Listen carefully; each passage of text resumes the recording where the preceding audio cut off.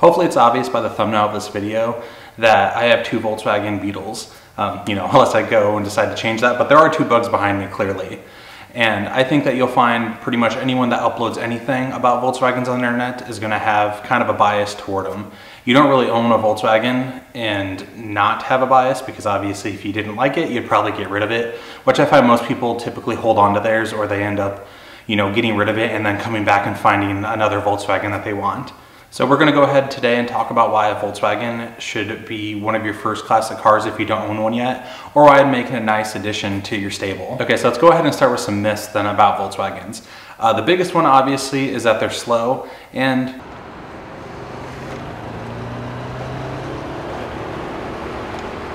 well, they are usually pretty slow. Most of them are gonna have 30 to 50 horsepower stock and most of them are in pretty stock condition, but they're very light cars and you know, it's pretty cheap to build one. Another myth about these cars is that they're unreliable and that is definitely not the case. As long as the previous owner has upkept on all the maintenance and as long as you follow maintenance schedules, they're very reliable cars. And in fact, they're known for their reliability and that's the reason they were so popular. Obviously, if you're buying something that's been you know, parked in a barn for 20 years, it's not going to be as reliable as something that's been daily driven for the past few years.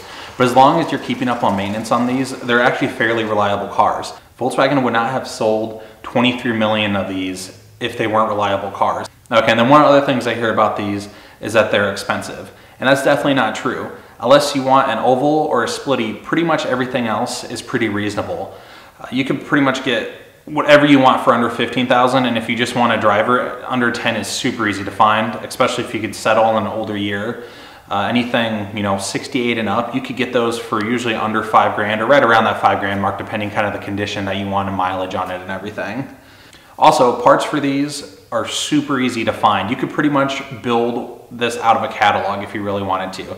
Now there's a few parts here and there especially if you go back to the later models that are a little bit harder to find and for the parts that you can't find, there's probably going to be some laying around somewhere. And once again, you know, once you get to the really early models, it gets a little bit harder to find stuff. But there's so many of these cars around and there's so many just sitting in, you know, people's yards rotting away.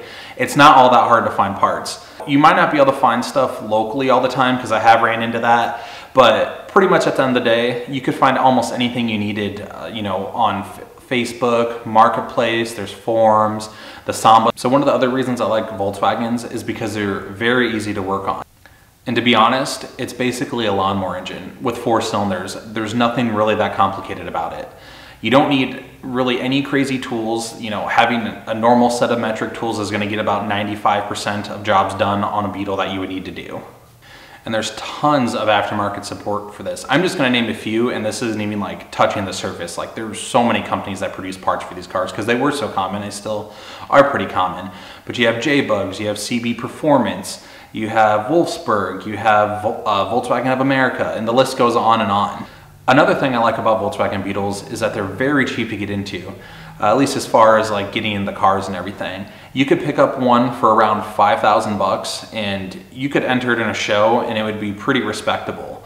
Um, you know, you're probably not going to win any prizes in that price range, but if you like super Beetles, if you're okay with the later model Beetle, like you could totally find one of those that's a little better than a daily driver even for around that 5,000 bucks. And of course, if you want an older one, uh, there's kind of patina ones out there. There's ones that are drivers. You could be probably a little bit more than 5,000, but you could probably be in that five, $8,000 mark pretty easy. I actually just bought that one back there and that was only 6,500. One of my absolute favorite thing about Volkswagen Beetles is that there's so many different types. And there's a type of Volkswagen Beetle for whoever you may be, whatever part of, you know, the car enthusiast niche that you're in. If you want a low rider and you want it slammed, we have that. Uh, there's that one back there is on bags. Uh, if you want something more stock and you want, you know, it to be pretty much a replica of how it came out of the factory, there's those cars too. It's something like that. And obviously there's different scales of, you know, do you want a driver? Do you want a show car? There's race cars, there's autocross cars, there's drag cars, there's off-roading Baja bugs. Pretty much any kind of automotive niche that you're in, you could find a Volkswagen Beetle that would fit in that niche perfectly. One thing I will say is if you don't like attention or talking to people, uh, a Volkswagen Beetle might not be the car for you. I have lots of people come up to me all the time and ask, hey, what year is that? Hey, you know, my family had one of these when I was growing up. Um, they're just great cars and they bring people together. They get more attention than my motorcycle does. I have an older Nova uh, and I have a Dodge Neon SRT4. Hands down, they probably get three to four times, and I'm not even exaggerating, more attention than any of those cars. They also have a great community. Uh, there are some kind of you know communities in the car world that are a little toxic. Volkswagen Beetles typically don't have that. Most people are pretty respectable. Uh, most people kind of respect what you're doing. I mean, you know, there's people that don't really like the lowrider scene. There's people that don't really like the whole off-road scene. Uh, but you don't really have a lot of hate out there. It's just not their style kind of thing versus there's other, you know, car groups or car pages and stuff where if you went out of the norm, you know, you get bashed for that. They also, I mean, you know, being a car enthusiast, we like driving, and especially if this is going to be your first, you know, classic car, they get really good gas mileage. This one here, the orange one, probably gets about 30 or so, 33 highway, and that one probably gets about 28 highway, 24-ish city. I mean, and those are pretty rough estimates. Unless you have a really radically built engine, you're probably going to get upper 20s as far as gas mileage, maybe mid 20s you know, kind of worst case scenario. They actually hold their value really well too, and I think in the past five years they've actually shot up in value. And you know, five years ago, uh, probably closer. Well, I guess I'm getting old.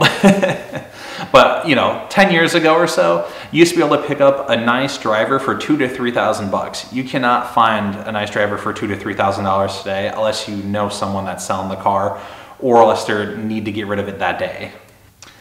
And unless you're pouring money into it to make it a race car or you buy something that's a complete, you know, project, if you're just buying something that's a driver, I don't foresee you putting so much money into the car that you're not going to get it back. Now, if you blow up the engine or something, obviously, and you go out and buy a brand new engine, you know, you might be out money there, especially if you take it to mechanic and do everything.